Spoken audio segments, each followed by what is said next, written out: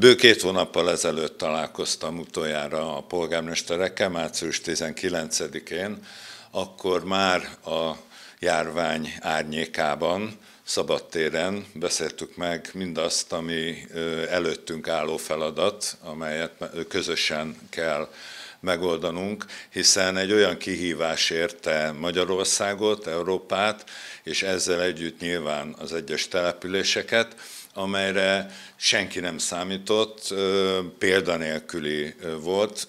Én azt kell, hogy mondjam, és ezt elmondtam itt a mai azóta először tartott településvezetői értekezetünkön, hogy egészen kiváló és kivételes módon teljesítettek az önkormányzatok itt a választókerületünkben, és túl azon, hogy a kormányzat időben meghozta nagyon határozottan a szükséges lépéseket, minden egyes önkormányzat, minden egyes polgármester a helyzet magaslatán volt.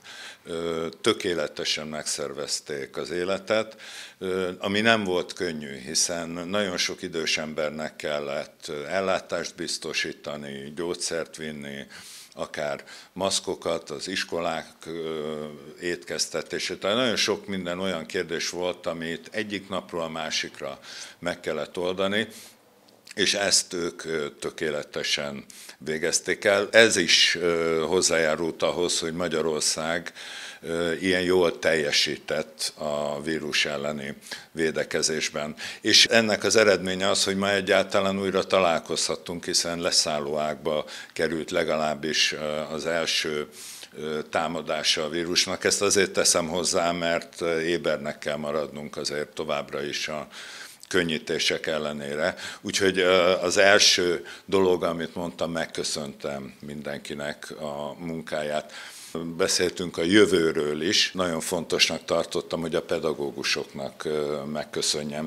Ők a szokásos, igazi pedagógusi teljesítmény mellett, vagy talán azt kell, hogy mondjam, hogy most helyett egyik napra a másikra egy olyan kihívással szembesültek, hogy a gyerekeket otthon digitális módon, virtuálisan kell oktatni. És ezt nem virtuálisan, hanem valóságosan nagyon jól oldották meg, úgyhogy mindenképpen köszönet jár érte.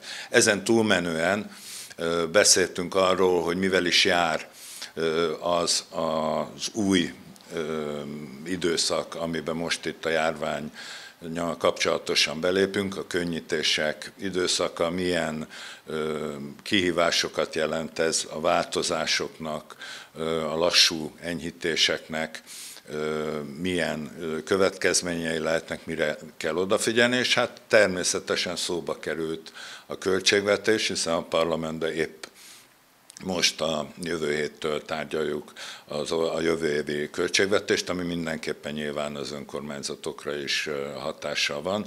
Biztosítottam a önkormányzati vezetőket arról, hogy a kötelező feladatok ellátásához a megfelelő normatívákat meg fogják kapni, tehát akárhogy alakulnak a különböző bevételeknek a helyzete, azt, ami kötelező feladat, az biztosan el fogják tudni látni, ahhoz a forrásokat meg fogják kapni. Számomra egy nagyon nagy öröm volt, hogy most a, épp a polgármesterektől jött az iniciatíva, hogy újra találkozunk, hiszen nagyon hasznosnak tartották azt a legutóbbit, és most is nagyon kíváncsiak voltak arra, hogy mi várható a jövőben. Én nagyon szerettem ezeket az összejöveteleket, hiszen én tudok olyan információkat mondani nekik, amely számukra érdekes a mindennapi munkájukban, és ami számomra nagyon fontos, hogy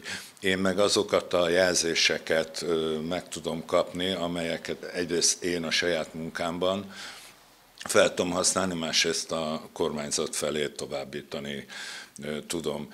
Úgyhogy én mindenkinek az elkövetkező előttünk lévő nyárra jó pihenést kívánok, de azt ne felejtsük el, hogy a vírus még itt van és tartsuk be azokat a szabályokat, még ha ezek könnyítettek is, amelyek azt szolgálják, hogy lehetőleg egy második hullám ne érje már az országot.